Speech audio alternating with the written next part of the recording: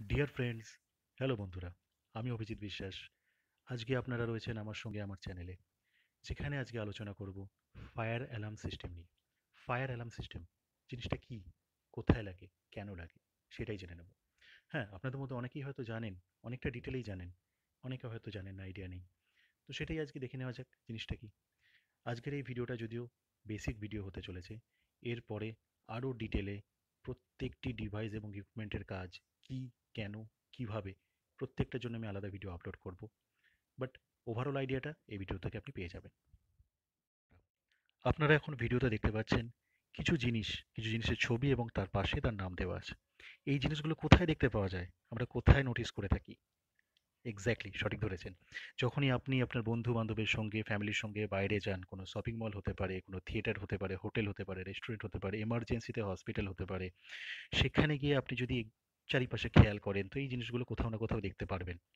কারণ এগুলো থাকাটা ম্যান্ডেটরি কোথাও কোনো ফায়ার কন্ডিশন হলে, কোনো আগুন লাগলে, এই জিনিসগুলো না থাকলে সেটা বড্ড ভয়ানক কন্ডিশনে কনভার্ট হয়। সো ইট ইজ ম্যান্ডেটরি তো আসুন দেখে নেওয়া যাক জিনিসগুলো কি। আপনাদের জুম করে দেখানো যেতে পারে। প্রথম জিনিসটা যেটা আপনারা দেখতে পাচ্ছেন, সেটা কি? ফায়ার ডিটেক্টর ডিটেক্টর কি? এটা এক রকমের সেন্সার আপনি যদি ওপরের দিকে সিলিংয়ের দিকে কখনো তাকান, দেখতে পারবেন এই টাইপের ডিটেক্টর সেখানে লাগানো রয়েছে। কাজ কি? এটা জেনারেলি স্মোক সেন্স করে। ফায়ার কন্ডিশনে যদি কখনো কোনো স্মোক জেনারেট হয়, ধোঁয়া তৈরি হয় সোজা কথায়, সেই স্মোকটাকে ডিটেক্ট করার জন্য এই সেন্সার ইউজ করা হয়। তো এটাকে ডিটেক্টর বলা যেতে পারে। স্মোক সেন্সার বলা যেতে পারে। হ্যাঁ এর মধ্যে অনেক ভ্যারাইটি আছে। হিট ডিটেক্টর আছে মাল্টি সেন্সার ডিটেক্টর আছে আরও অনেক রকমের ভ্যারাইটি আছে। সেই ডিটেলে আমি পরে ভিডিও বানাবো। তারপরে জিনিসটি কি দেখতে পাচ্ছেন? Manual call point exactly manual call point কী কাজে লাগে? এটি আপনি দেখতে পাবেন যেখান দিয়ে আপনি এক্সিট করছেন বা বেরিয়ে যাচ্ছেন আপনার সেই প্রিমিসেসের থেকে বা এন্ট্রি করছেন, তার পাশে লেফট হ্যান্ড সাইডে বা রাইট হ্যান্ড সাইডে আপনি এই রকমের জিনিসটি দেখতে পাবেন যেটাকে ম্যানুয়াল কল পয়েন্ট বলে। এর ফাংশন কি? এটাকে আপনি ম্যানুয়ালি অপারেট করতে পারেন। ধরুন, কোনো ক্ষেত্রে কোনো সেন্সার বা ডিটেক্টর, যেটা আমরা একটু আগে আলোচনা করলাম, কাজ করল না। অটোমেটিক্যালি কাজ করল না। এবং আপনি সেখান দিয়ে পাস করার সময় দেখতে পেলেন যে, কোনো রকমের ফায়ার কন্ডিশন বা আগুনের কোথাও জেনারেশন হতে চলেছে বা হয়েছে। তো আপনি ম্যানুয়ালি এই ম্যানুয়াল কল পয়েন্ট দিয়ে কমপ্লিট অ্যালার্ম সিস্টেমকে অ্যাক্টিভেট করতে পারেন। So that is why it is called manual call point next কি আছে আমাদের? Hooter hooter is nothing but a buzzer বা সাউন্ডার যখনই আপনি ম্যানুয়াল কল পয়েন্টকে অ্যাক্টিভেট করলেন বা কোনো স্মোক স্মোক ডিটেক্টরে বা ডিটেক্টরে সেন্স করল সেন্সারে সেন্স করল, তখনই অটোমেটিক্যালি হুটার সাউন্ড হতে শুরু করে। পারপাস কি? আপনার পারিপার্শ্বিক সমস্ত লোকজনকে অ্যালার্ট করা যে there is a incident there is a fire incident আপনারা তাড়াতাড়ি যেন সেখান থেকে ইভ্যাকুয়েট করে যান বা বেরিয়ে যান। সেই প্রিমিসেস খালি করে দেন অ্যালার্ট পারপাসে তারপরে কি রয়েছে? স্পিকার এটা কোথাও কোথাও কোনো কোনো সিস্টেমে থাকতে পারে, কোথাও নাও থাকতে পারে। বাট যেখানে থাকে, তার পারপাসটা হচ্ছে যে যখনই কোনো ফায়ার ইনসিডেন্ট হলো, সেখানে আপনার কোনো মেসেজ বা যে প্যানেলের সামনে কন্ট্রোল প্যানেলের সামনে বসে আছে, সে যেন কিছু অ্যানাউন্সমেন্ট করে আপনাকে প্রপারলি গাইড করে সেই প্রিমিসেস থেকে বাইরে বের করে দিতে পারে বা পৌঁছাতে সাহায্য করতে পারে বাইরে পৌঁছাতে। তো দ্যাট ইজ ওয়াই স্পিকার তারপরে কি রয়েছে? টেলিফোন জ্যাক স্টেশন যেখানে যেখানে জেনারেলি টেলিফোন ইউজ হয় ফায়ার ফাইটার টেলিফোন অ্যাকচুয়ালি আমাদের নর্মাল টেলিফোন নয় কিন্তু fire fighter fire fighter telephone যেখানে যেখানে ইউজ হয় সেখানে এই জ্যাক স্টেশন জেনারেলি কাজে লাগে বাট সব জায়গায় লাগে না। এর জন্য ডিটেলে আমি আরও ভিডিও আপলোড করে দেব বোঝার জন্য। Then telephone handset obviously jack station থাকলে সেখানে হ্যান্ডসেট তো থাকতেই হবে। হ্যান্ডসেট না থাকলে আপনি জ্যাক স্টেশনে আপনার কোনো অ্যাকচুয়ালি ইউজ নেই। তো হ্যান্ডসেটের যে পিনটা থাকে, সেই পিনটা জ্যাক স্টেশনে প্লাগ ইন করার পরেই আপনি ফায়ার ফাইটার টেলিফোন দিয়ে কন্ট্রোল প্যানেলের সামনে যে অপারেটর বসে থাকে, তার সঙ্গে কথা বলতে পারবেন। বাট এটা আপনি বলতে পারবেন না অবভিয়াসলি এটা শুধুমাত্র অথরাইজ যে পার্সোনাল আছে, সেই বিল্ডিংয়ের সেই প্রিমিসেসের তারা বলতে পারবে during maintenance or any kind of emergency or any kind of service purpose prospect তারপরে কি রয়েছে? কন্ট্রোল মডিউল হ্যাঁ কিছু মডিউল থাকে। Control module nothing but a relay module আপনারা বিভিন্ন জায়গায় মার্কেটে শুনে থাকবেন relay module relay module normal relay মডিউলের যে কাজ থাকে control module is same normally NO to NC or NC to NO that's it এটাও যদি আপনাদের ডিটেলে জানতে হয়, বুঝতে হয়, আপনাদের কোথাও যদি বুঝতে অসুবিধা হয় পার্টিকুলারলি সেই পয়েন্টটা নিয়ে আপনি কমেন্ট করে দেবেন, আমি সেখানে আপনাদের উত্তর দিয়ে দেব। তারপরে অবশ্যই এতগুলো ডিভাইস রয়েছে, এতগুলো ইকুইপমেন্ট রয়েছে, সেগুলো কানেক্ট করতে গেলে কেবল তো লাগবেই। তার জন্য কেবল বা সোজা কথা ওয়্যার সেটা আর্মার্ডও হতে পারে আনআর্মার্ড হতে পারে। সো কেবল দিয়ে আপনার এই ডিভাইসগুলো কানেক্ট করতে হবে। কেবেল বেরোবে হচ্ছে ফায়ালাম প্যানেলের থেকে। ডিভাইসগুলোকে ফিল্ডে যেগুলো লেগে আছে সেগুলোকে কানেক্ট করবে এবং আবার ফায়ালাম ডিভাইসে ফিরে আসবে। ফায়ালাম প্যানেলে ফিরে আসবে। স্পিকারের জন্য এগেইন কেবেলের দরকার আলাদা করে। টেলিফোনের জন্য আলাদা কেবেলিং দরকার পড়ে এবং পাওয়ার কেবেল তো অবভিয়াসলি প্রত্যেকটা ডিভাইস যে যে পাওয়ার কনজামশন করে, যাকে আলাদা করে পাওয়ার সাপ্লাই দিতে হয়, তার জন্য পাওয়ার কেবল লাগে। এবার আপনাদের দেখাবো কমপ্লিট স্কিমেটিক অ্যারেঞ্জমেন্টটা আমরা এতক্ষণ ধরে এই কমপ্লিট আর্কিটেকচারটা নিয়ে আলোচনা করছিলাম। এখানে আপনারা কি দেখতে পাচ্ছেন? আপনারা একটা প্যানেল দেখতে পাচ্ছেন মাঝখানে, যেটা সমস্ত ডিভাইস এবং ডিটেক্টর ইকুইপমেন্টকে কানেক্ট করে রয়েছে। আপনারা রাইট হ্যান্ড সাইডে কিছু স্পিকার দেখতে পাচ্ছেন, যেটাও প্যানেল থেকে বেরিয়েছে। লেফট হ্যান্ড সাইডে কিছু টেলিফোন জ্যাক এবং টেলিফোন হ্যান্ডসেট দেখতে পাচ্ছেন, যেটাও প্যানেল থেকে বেরিয়েছে। ওপরের দিকে আপনারা কিছু detector manual call point module এবং হুটার দেখতে পাচ্ছেন। যেটাও প্যানেল থেকেই বেরিয়েছে।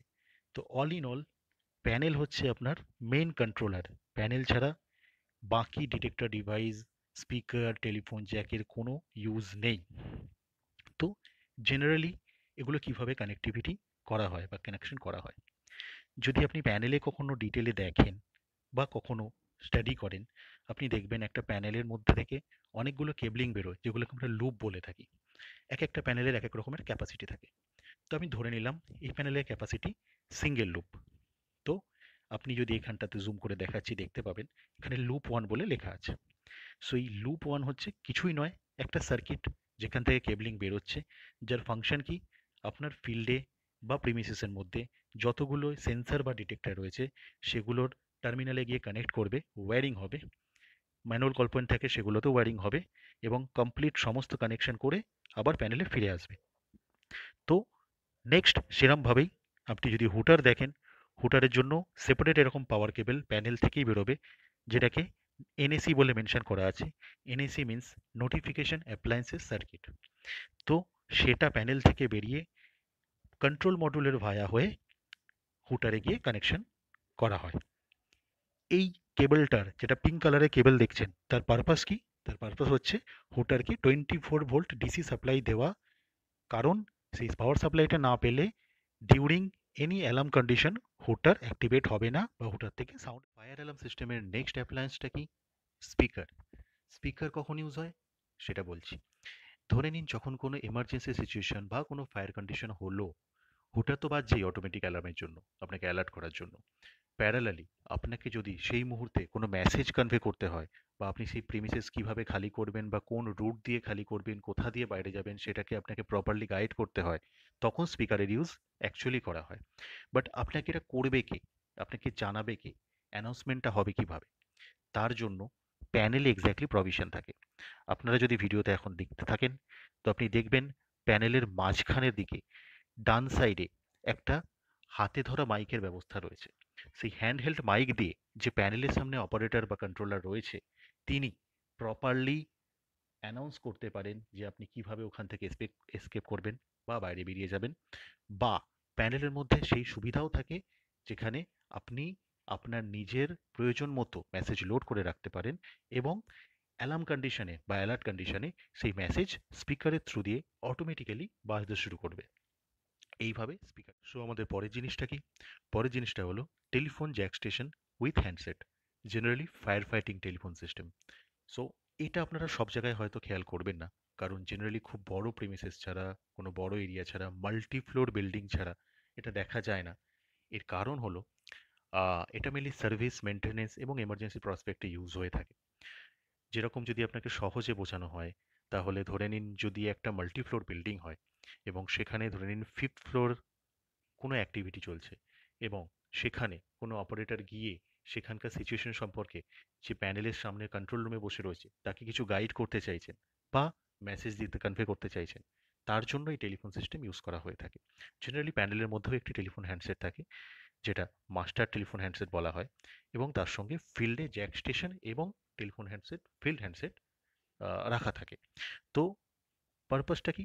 যখনই কোনো রকম কোনো প্রয়োজন পড়ে, তো ফিল্ডে যারা সার্ভিস পার্সন রয়েছে বা মেনটেন্যান্স পার্সন রয়েছে বা এমআর যারা অথরাইজ পার্সোনেল রয়েছে এমার্জেন্সি কন্ডিশনে তারা সেই ফিল্ডের প্রত্যেকটি লোকেশনে যায় এবং সেখানকার কমপ্লিট সিনারিও বা সিচুয়েশনটাকে মনিটর করে এবং তারপরে মেসেজ কনভে করার জন্য সেই ফিল্ড লোকেশন থেকে প্যানেলে টেলিফোন করে বা রিং করে কথা বলতে পারে এবং পুরো সিচুয়েশনটা বা সিনারিটা সম্পর্কে ডিটেল টেলিফোনের প্যানেলের সামনে যে অপারেটর বসে রয়েছে, তাকে কনভে করতে পারে। তো এই পারপাসে ফায়ার ফাইটিং টেলিফোন সিস্টেমটি ইউজ করা হয়। এর বন্ধুরা, আমরা মোটামুটি সবকটা detector device manual call point hooter speaker telephone jack handset সমস্ত কিছু নিয়ে আলোচনা করে ফেলেছি। সো এই ভিডিওতে আর কিছু বেশি বলব না, কারণ ভিডিওটা অলরেডি অনেকটা লেন্দি হয়ে যাচ্ছে, যদিও বেসিক ভিডিও এরপরে আপনাদের যা ডাউট থাকবে, যা প্রশ্ন থাকবে, আপনারা কমেন্ট করতে পারেন, আমি সেখানে উত্তর দিয়ে দেবো আপনাদের। আর যে স্কিমটি বা যে ডায়াগ্রামটি আপনারা এখন দেখতে পাচ্ছেন ভিডিওতে, যদি আপনাদের কারোর প্রয়োজন হয়, যদি আপনাদের মনে হয় এটা হলে বেটার হয় বুঝতে আরও তো আপনারা আপনাদের কমেন্ট করতে পারেন, সেখানে আপনার মেল আইডি দিতে পারেন, আমি তাকে এটা পাঠিয়ে দেবো। সো আজকে এতটাই, রাখছি, ভালো থাকবেন, খুশি থাকবেন, ধন্যবাদ।